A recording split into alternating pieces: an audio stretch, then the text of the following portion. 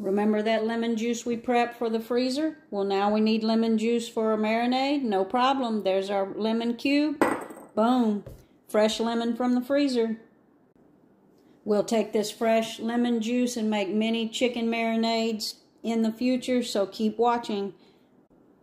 I'm going to set this bowl inside of a larger bowl filled with water and in no time I'm going to have two tablespoons of fresh lemon juice to add to my marinade today. Today I'm making a chicken marinade, but having no hassle ingredients in your freezer being prepped allows you to have ingredients on hand at all times.